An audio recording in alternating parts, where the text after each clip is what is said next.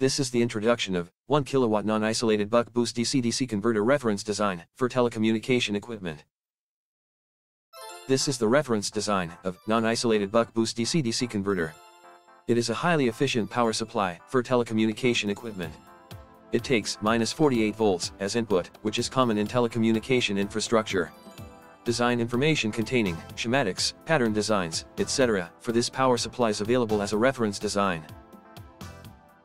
This reference design of 1 kilowatt non-insulated buck boost DC-DC converter for telecommunication equipment is implemented on a 150 by 150 millimeter board.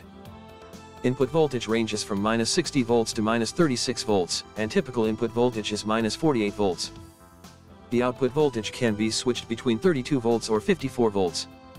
The maximum output current varies with the output voltage, however the rated output power is 1 kilowatt.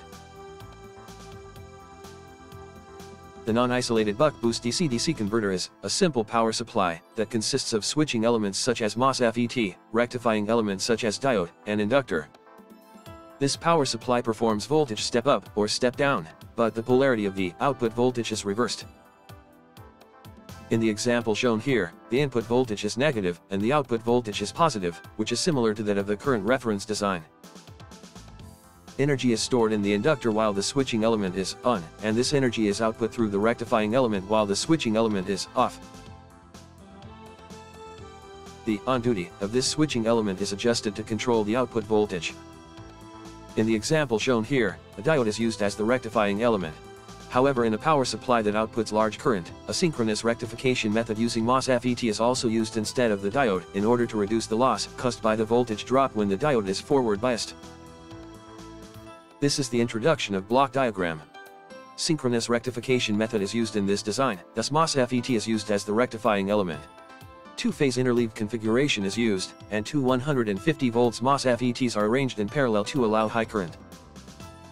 In this configuration, which uses synchronous rectification, the high-side MOSFETs as rectifying elements require high-speed reverse recovery operation, thus TPH9R00CQ5 MOSFET with high-speed built-in diode is used and the low-side MOSFETs as switching elements, don't require high-speed reverse recovery operation, thus TPH9R00CQH with normal diode is used.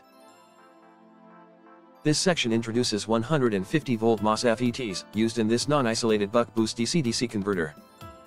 By using our latest 10th generation UMOS processing and optimizing the cell structure, we have improved the trade-off between on-resistance and various charge characteristics compared to the conventional products, realizing low loss in switching applications.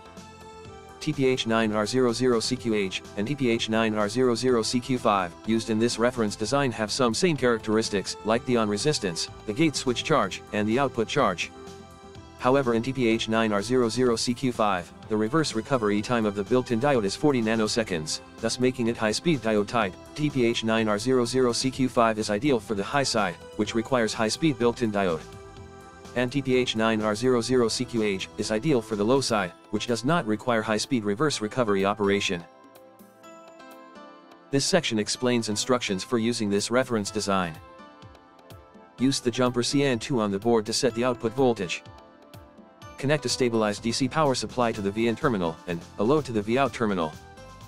If a voltage between minus 60 and minus 36 volts is input as the input voltage and the jumper CN1 is shorted, the set voltage is output from the Vout terminal.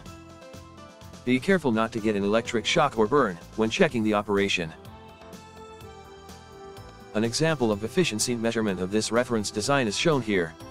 When output voltage is set to 32 volts and input voltage is minus 48 volts, the efficiency is 94.6% at the rated output power of 1 kilowatt. When output voltage is set to 54 volts, and input voltage is minus 48 volts, the efficiency is 94.9% at the rated output power of 1 kilowatt. Using our latest 150 volt MOSFET enables the implementation of highly efficient non-isolated buck-boost DC-DC converters for telecommunication equipment.